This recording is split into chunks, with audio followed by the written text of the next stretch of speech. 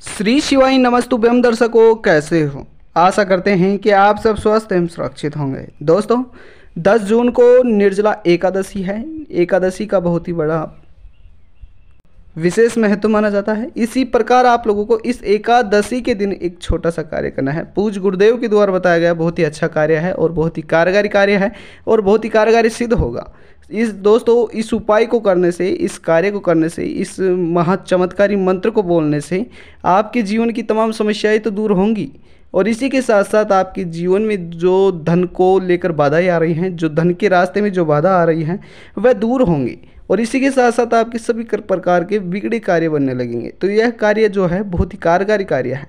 इस कार्य को आपको ज़रूर करना है, लेकिन अभी तक आप लोगों ने चैनल को सब्सक्राइब नहीं किया तो जल्द से जल्द चैनल को सब्सक्राइब कर ले, वीडियो को प्यारा सा लाइक अवश्य करें। हर बार की तरह कमेंट में श्री शिवाय नमस्तुभ्य हम अवश्य लिखें। तो दोस्तों, आप लोगों को निर्जला एकादशी के दिन स्नान करने के बाद में, यानी कि आप सुबह उठते ही स्नान कर लीजिए। स्नान करने के बाद में आपके पूजा स्थल पर माँ लक्ष्मी की तस्वीर के सामने एक दिया जब उज्ज्वलित कर देना है, क्योंकि कल शुक्रवार का दिन भी है।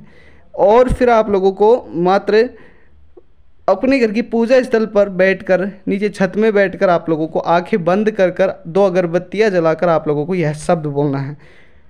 ओम भूरी दे भूरी दे माँ लक्ष्मी या में नमः। दोस्तों, इस मंत्र का जाप आप लोगों को सही तरीके से, सही हिसाब से उच्चारण करना है। आपको शुभ फल अवश्य मिलेंगे, साथ ही साथ धन के बाद रास्ते में जो भी बाधाएँ आ रही हैं, वह दूर होंगी। तो यह कार्य बहुत ही कारगर कार्य है, अवश्य करें।